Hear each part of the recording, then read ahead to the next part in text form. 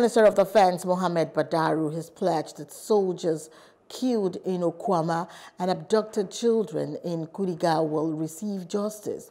Badaru visited troops of one division of the Nigerian Army in Kaduna to discuss the abduction of 287 children and the measures taken to rescue them.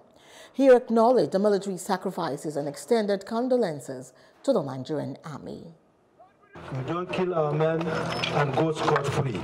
We'll find them, we'll deal with them, and we'll deal with them squarely. The fight that is going on, I want to thank you for all the efforts, the gallantry, what you have been doing to secure our nation.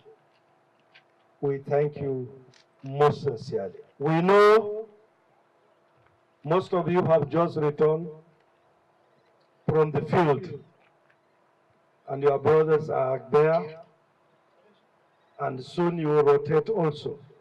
We will, by special grace of Allah. We will end the insecurity situation in this country. And with you, we will defeat them. We have the power we have the will. The minister confirmed that the strategy for rescuing abducted Kuriga community children will yield positive results while also ensuring the military receives the necessary support to effectively fulfill its constitutional responsibilities.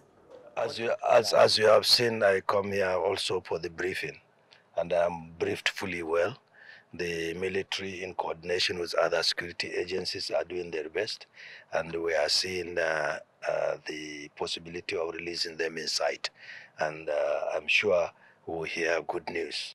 Hello, hope you enjoyed the news. Please do subscribe to our YouTube channel and don't forget to hit the notification button so you get notified about fresh news updates.